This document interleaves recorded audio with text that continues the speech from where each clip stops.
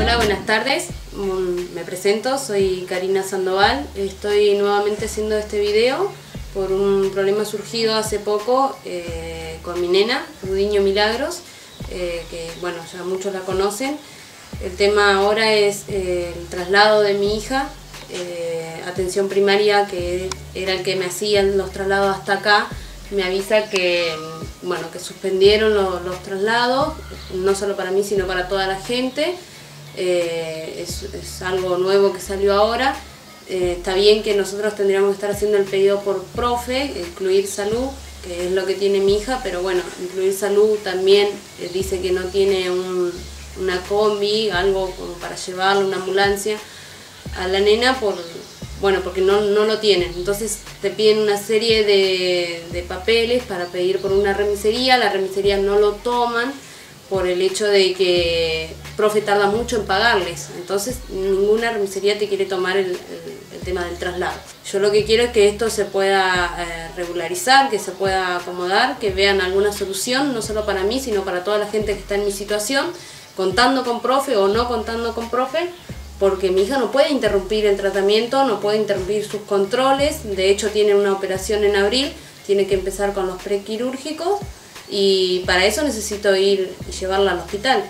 Eh, yo no puedo hacerlo por mis medios porque en transporte público es muy difícil, mi nena está en silla de ruedas como saben y así no se puede. Eh, otro tema a resolver, que es lo que necesito que, me ayuden las autoridades que corresponden, quien se tenga que ocupar de, esta situación, por, el derecho mismo del niño por derecho de mi hija y por derecho de, discapacidad, que, yo sé bien que esto es ley.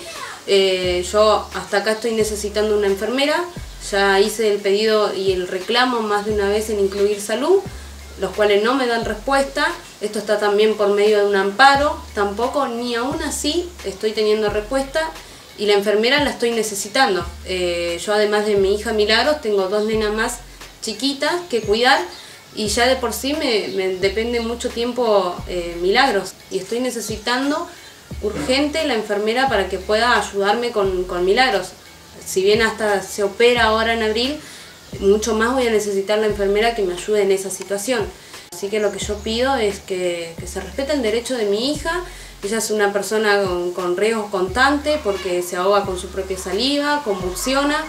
Eh, yo como, como madre hago lo que puedo, eh, me defiendo en sí, cualquier urgencia que, surja con ella yo trato de resolverlo, pero no es lo mismo que esté un profesional acá al lado de ella por si a ella le, pasa cualquier circunstancia. Entonces necesito sí o sí la enfermera para mi hija.